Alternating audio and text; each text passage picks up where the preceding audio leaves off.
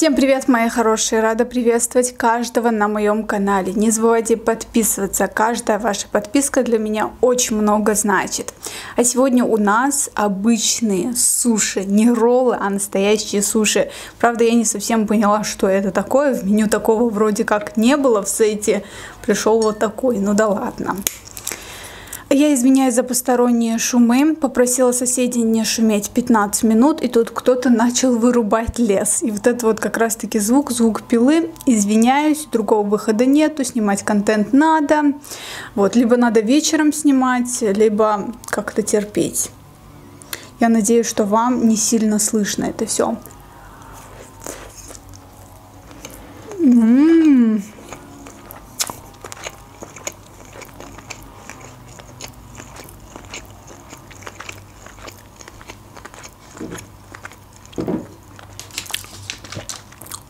Попросила вас в инстаграме позадавать мне интересные вопросы. Тут вопросов, кстати, очень много, хотя я выложила историю буквально 15 минут назад. И первый вопрос, наверное, очень частый под моими видео, как я отбелила зубы. Кто меня смотрит давно, тот в курсе, что одно время у меня были очень желтые зубы, меня это очень сильно напрягало. Реально на видео это было заметно, а сейчас зубы стали белые. Как это произошло?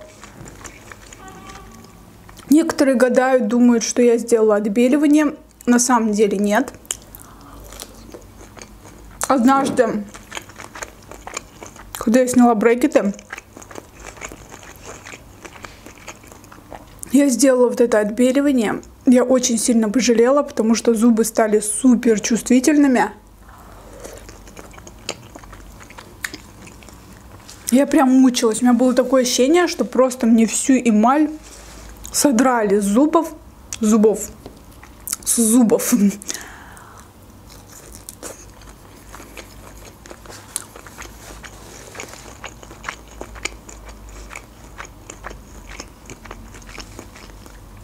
И после этого я поняла, что больше никогда я не буду делать отбеливание зубов, даже если они у меня будут коричневые.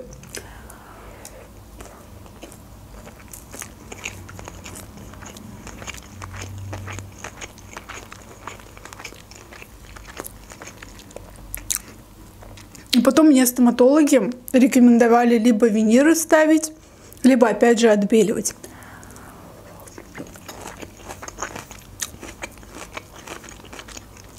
Типа у них какой-то щадящий состав, типа такого эффекта, как было в прошлый раз, у меня не будет. Не парьтесь, давайте сделаем отбеливание. Я однажды пошла к стоматологу, который мне сказал, что нет, лучше сходи и сдай анализы.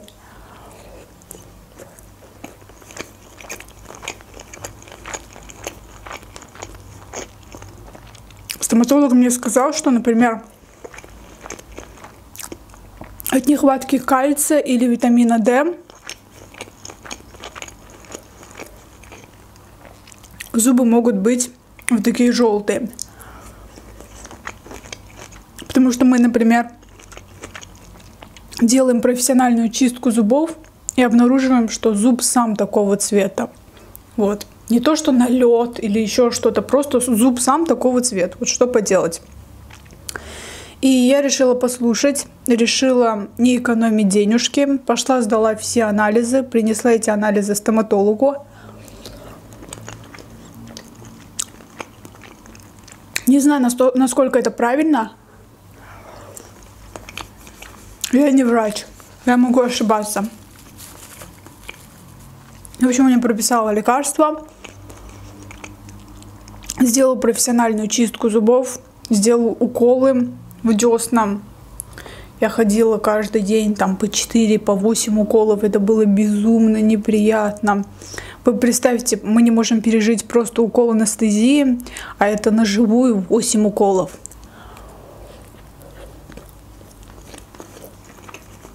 Неприятно. Очень неприятно. Но не знаю, помогло ли это или просто что-то произошло. Вот сейчас я смотрю на свои зубы, они у меня белые, мне нравится цвет, даже очень нравится.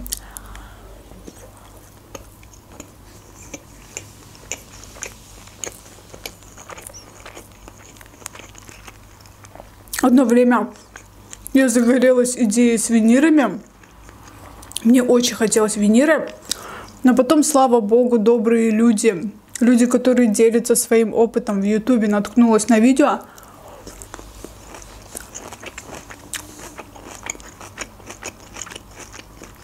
где девушка рассказывает про свои Венеры и говорит, что если вы думаете, что это так долговечно, как ваши натуральные зубы, то нет. И вернуть назад ситуацию вам уже не удастся. Если вы однажды сделали Венеры, то уже каждые 15-20 лет вам нужно их менять. И то есть уже обратного пути нет. Я поняла, что мне оно не надо.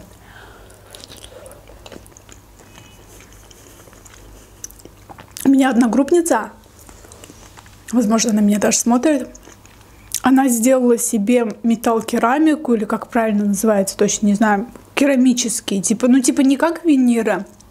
И очень жестко отпилили зубы и вставили, ну как сказать, в общем, вставили все зубы.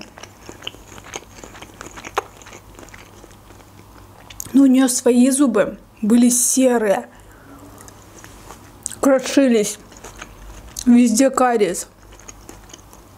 Поэтому для нее это был выход. А в моем случае, когда у меня здоровые, хорошие зубы, нормального цвета, почему бы не беречь свои зубы, пусть они не идеальные, пусть когда я смеюсь, я вижу какие-то недочеты. Я реально, когда своим знакомым говорю, что меня, например, не устраивают мои зубы, Не знаю, то ли это комплимент. Мне всегда говорят, да все нормально. Поэтому не бегите сразу рубить с плеча, а сначала попробуйте восстановить свои зубы.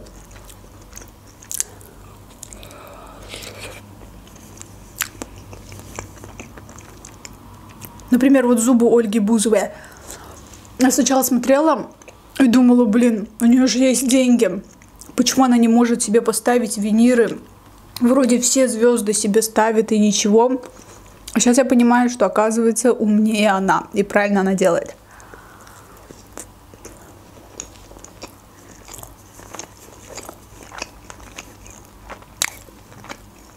У меня сейчас в окружении есть всего один человек, у которого стоят виниры. Ну, как в окружении. Ну, я там через-через знаю этого человека, иногда на мероприятиях вижу.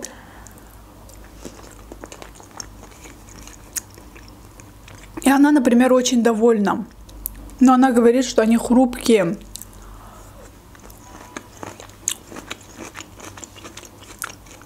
С ними надо быть очень-очень аккуратным. Я как-то разошлась отвечу на еще один вопрос, а то вы жалуетесь, что я все видео говорю про одно и то же. Некоторые мне пишут в комментариях, как ты находишь темы для разговора. Наоборот, столько тем, которых я хочу обсудить, но я болтаю все об одном, об одном, не могу заткнуться. Представим ситуацию, смогла бы ли ты выйти замуж за китайца или корейца? Вы знаете, я раньше считала, что самое главное — любовь. Но все это не важно, национальность, вероисповедование — Сейчас я так не считаю. Наверное, вера для меня не важна. То есть мне не важно, чтобы человек был именно мусульманином. Мне больше важен менталитет. Если человек родился и вырос в Африке,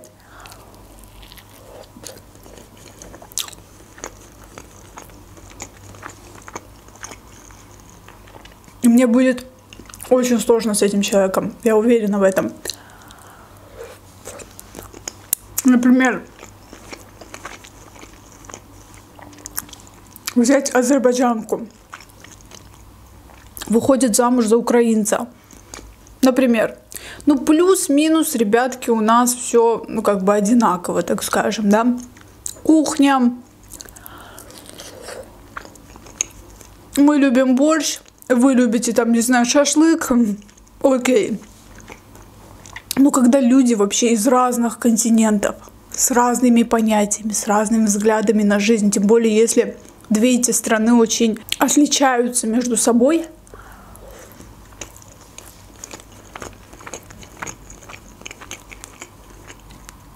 Я бы не смогла. Это прям однозначно. Хотя раньше я считала иначе. Мои все подружки, знакомые, которые учатся за границей, все говорят, например, я не могу жить рядом с индусами, от индусов как-то пахнет неприятно, у них какие-то приправы, находиться невозможно, даже если они в соседней комнате, я задыхаюсь.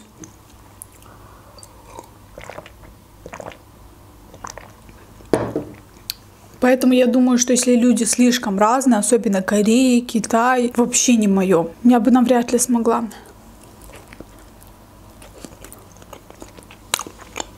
Хотя в ТикТоке я подписана на девушку, ну даже женщину. Наверное, женщина как некрасиво на девушку. У нее четверо детей. Вышла замуж за афроамериканца, уехала жить в Ганну. Я смотрю на нее, такая красивая девушка. Зачем ей это все надо было? Думаю я про себя.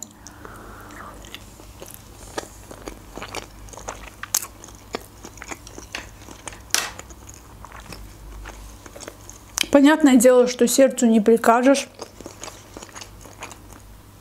Ну вот такая вот штука любовь. Полюбила она его. Это, конечно, все понимаю. Мне безумно интересно наблюдать за ее жизнью. Я смотрю,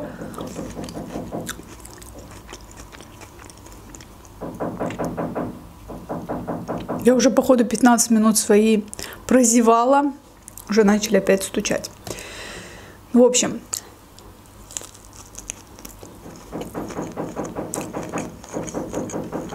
М-м-м. Креветочки топ. Вообще мукбанк в этот раз очень вкусный получился.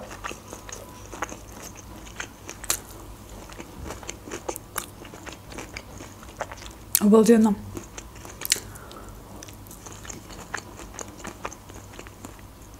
В общем, я бы смогла выйти замуж, если у нас плюс-минус, например, одинаковые взгляды на жизнь, например, многоженство, не знаю, или когда жену унижают как-то. Я очень, например, свободолюбивая. Мне ближе как-то СНГ. Погода такая грустная, даже солнышка нету, хотя снимаю для вас видео в 12. Вот прям хочется сидеть дома, жрать и грустеть. На этом все, мои хорошие. Спасибо, что досмотрели это видео до конца. Не забывайте ставить лайки и подписываться. С вами была Айка Эмили. Пока.